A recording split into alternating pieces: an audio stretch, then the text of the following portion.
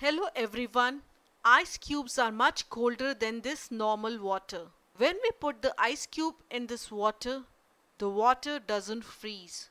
The water becomes cold and the ice cube melts. Exactly, this is what has happened here. When a solid receives enough heat, it melts. The ice is melting, which means it is receiving heat and water is losing heat. Hence, it is becoming colder. Now, the water due to melted ice is still much colder than the other part of water in the glass.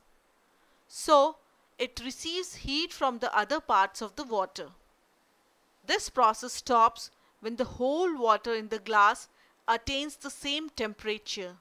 This means the temperature of water due to melted ice is same as the temperature of the other parts of the water in the glass. So, when two bodies are kept in contact, the heat flows from the hotter to the colder body and this we know already. This transfer of heat continues until both the bodies attain the same degree of hotness or coolness.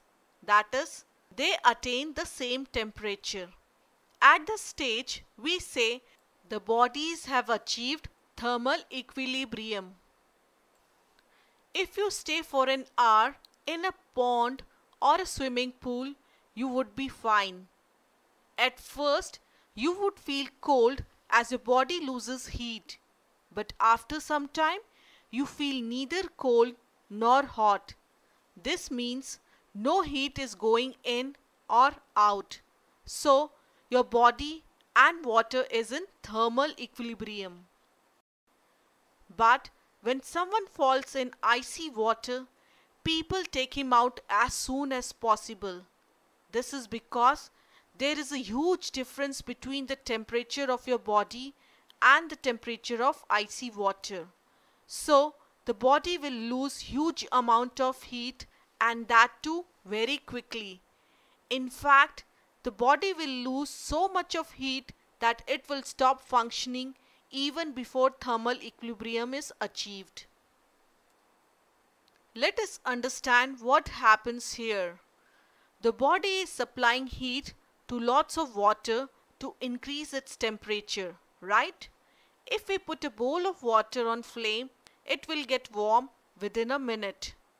Now, if you put a big pan or pot of water on flame, will the water get equally warm as the water in the bowl in one minute? No. This means you need more heat to raise the temperature of more amount of water. So, when someone falls in icy water, his body loses heat fast as it is supplying heat to lots of water. But a large quantity of water needs lots and lots of heat for rising its temperature.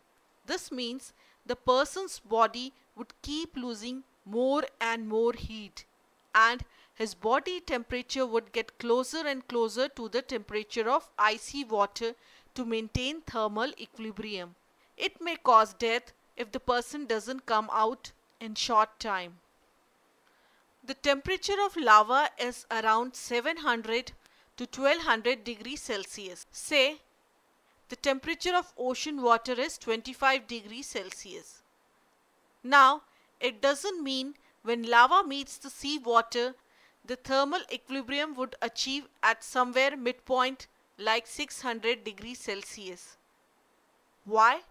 This is because lava will completely cool down as lots of ocean water will take lots of heat out of it and that heat would spread because of movement of water.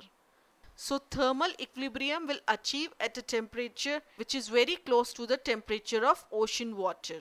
How much hotter a body will get on receiving heat depends on many factors. We shall learn about that in the next lesson.